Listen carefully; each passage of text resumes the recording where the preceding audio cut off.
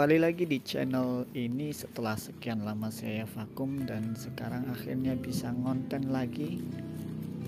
Nah, hari ini saya akan mereview barang yang beberapa hari yang lalu saya pesan dan sekarang sudah sampai. Mari kita buka sama-sama. Packingnya cukup rapi sih, cuman aman gak ya kira-kira? Soalnya barang yang saya pesan ini termasuk sensitif kalau dia terkena tindihan barang lain.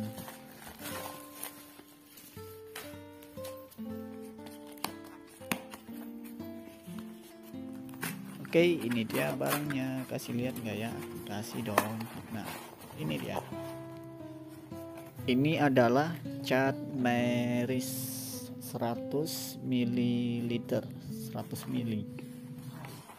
Nah, untuk warna sendiri sebetulnya ada banyak varian warna, cuman saya beli sesuai kebutuhan saya. Dan untuk warna yang saya pesan di sini ada warna putih, warna lemon yellow, warna rose dan warna sap green atau hijau. Oke, untuk yang baru tahu, baru lihat, uh, di sini saya mau review kemasannya dulu ya. Jadi yang saya beli ini benar-benar keluaran dari Meris.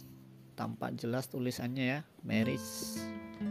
Dan di bawahnya ada tulisan Cina dan di belakang juga ada keterangan yang saya sama sekali nggak paham walaupun dibaca berulang-ulang karena bahasanya juga bahasa Cina. Tertera di sini Mary's Acrylic Color, jadi ini adalah cat akrilik dan di situ ada kode warna 403 untuk warna purple red atau warna rose. Dan di sini ada keterangan nomor A1100 dan keterangannya di sini 100 ml yang saya sendiri masih bingung kenapa harga 100 ml jauh lebih murah dibanding Meris yang 75 ml untuk yang titanium white juga kemasannya sama cuma beda di nomor warna dan yang lain juga beda di nomor warna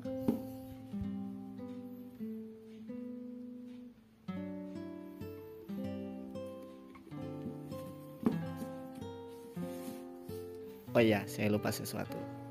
Kebetulan ini adalah paket kedua yang datang dan sebelumnya saya sudah pernah pesan Meris juga, cuman belum pernah saya buka dan masih segel mungkin.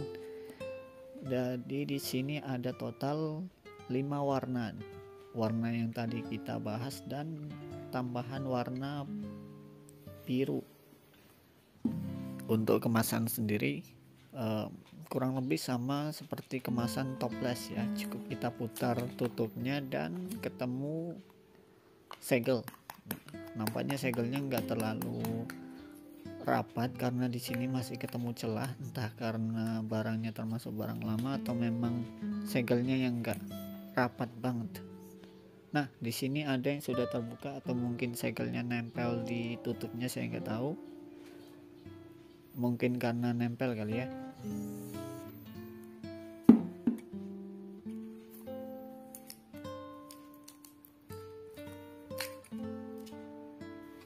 Dan yang warna hijau ini masih segel. Jadi kemungkinan yang warna kuning tadi segelnya lepas atau nempel di tutup atasnya saya nggak tahu.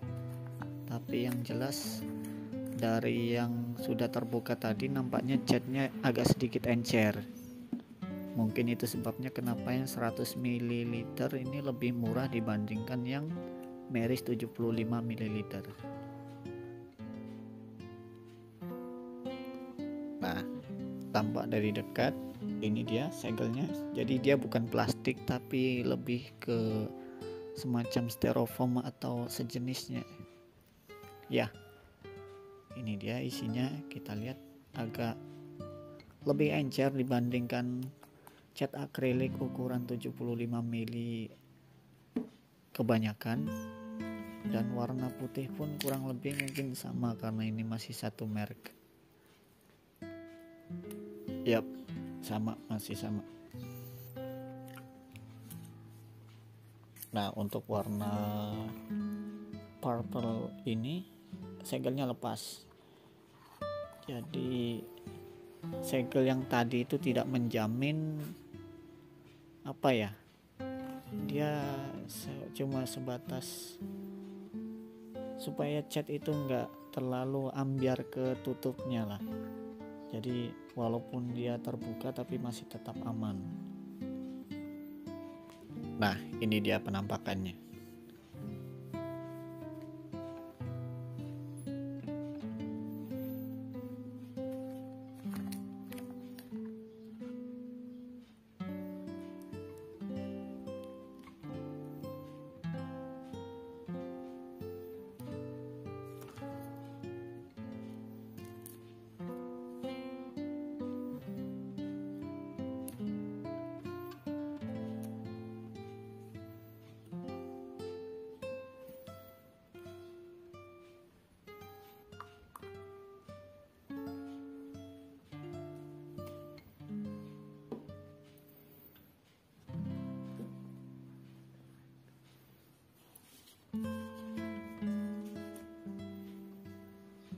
Oke, semua warna sudah saya buka dan sekarang saya coba gores-gores di atas kertas.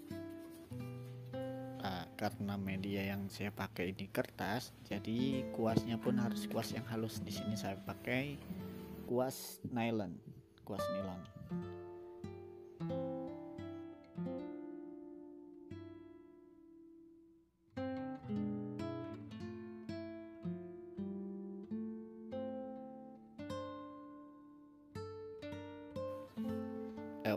Color gradingnya sendiri masih normal layaknya kita melukis pakai cat akrilik pada umumnya.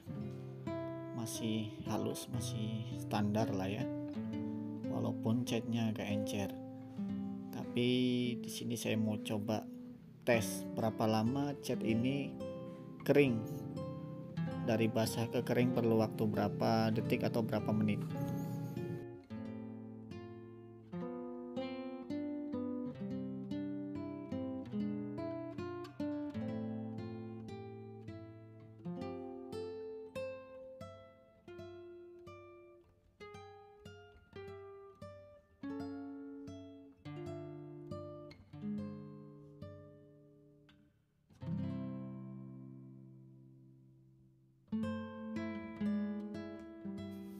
Oke, empat warna sudah saya coba, tinggal warna putih. Cocoknya saya tulis di mana ya?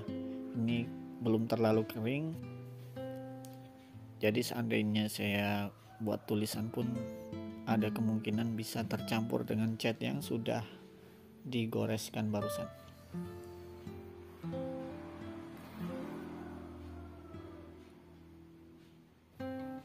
Ternyata lebih cepat lembab dari yang saya kira di sini masih bisa membuat apa semacam timpaan.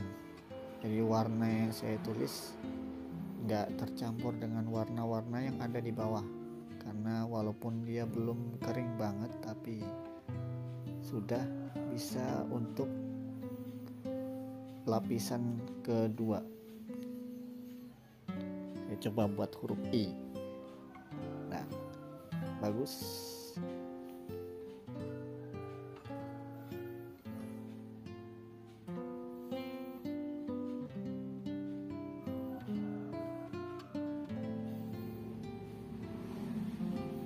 normalnya cat akrilik itu biasanya waterproof. Dia punya proteksi tersendiri terhadap air. Nah sekarang saya mau coba. Apakah akrilik yang ini beneran bisa tahan air? Tapi saya nggak coba dalam keadaan kering melainkan masih setengah basah setengah kering. Di samping sudah saya siapkan satu bak isinya air. Nah mau saya celupkan ke sini kita tes. Ya walaupun sayang banget ya. Banyak warna tapi ujung-ujungnya dicelupin juga ke air. Tapi ya apalah sekedar ngetes kekuatan cat aja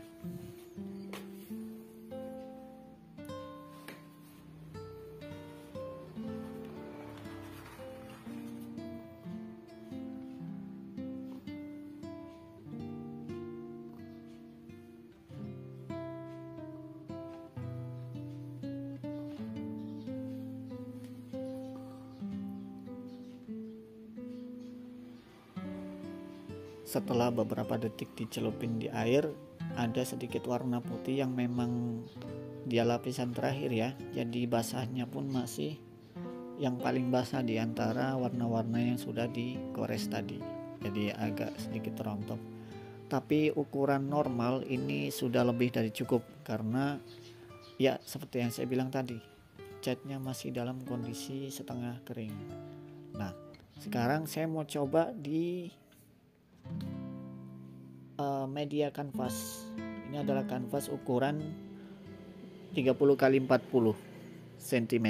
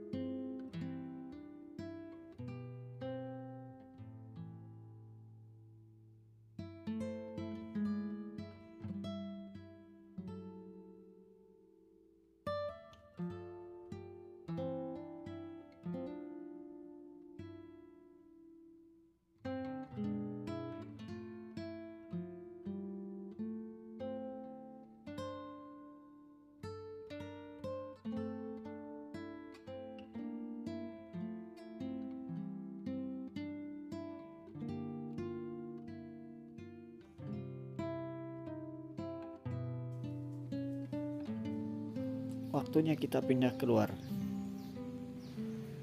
nah setelah kering inilah hasil goresan di atas media kanvas yang tadi kita saksikan sama-sama walaupun gambarnya sama sekali nggak pakai konsep tapi untuk warna saya puas karena untuk sekelas Meris walaupun dia encer tapi kualitas warna oke okay.